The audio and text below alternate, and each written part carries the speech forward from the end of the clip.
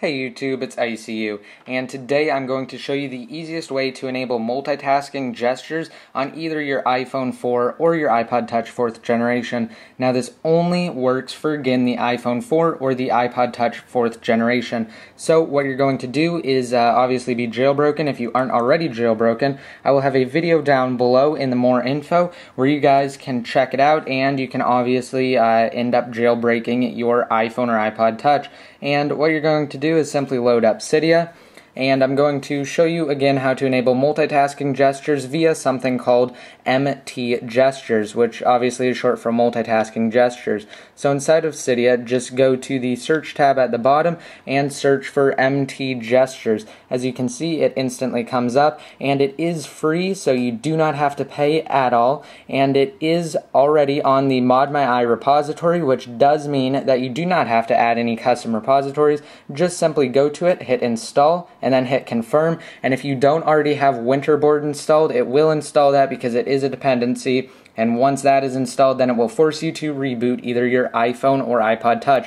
Once you have done that, you can go inside of Winterboard and enable it. But really quick, I'm just going to show you guys that inside of settings, I do not have multitasking gestures enabled. Now, it will be above airplane mode once it is enabled. So I'm just going to show you guys how to do it. Again, just open up Winterboard.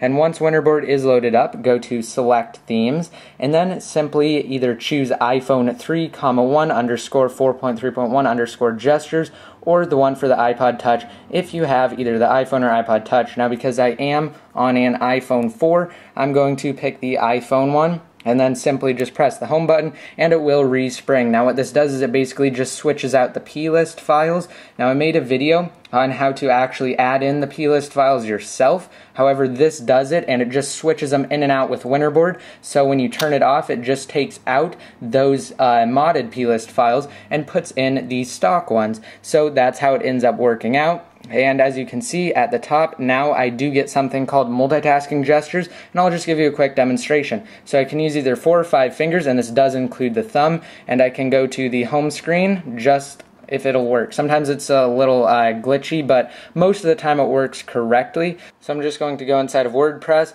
and show you guys that you can close out like that. You can also bring up your multitasking bar simply by swiping up like that, close it just by swiping down, and you can switch between open applications once you're inside of it. You just simply swipe over like so, and it goes between all of your open applications. So that's basically it. It's really easy, really simple to do. I hope you guys like this video. Please remember to let me know what you think in the comment section below, and also be sure to hit that subscribe button if you aren't already subscribed for more great videos. And until next time, this is ICU, signing out.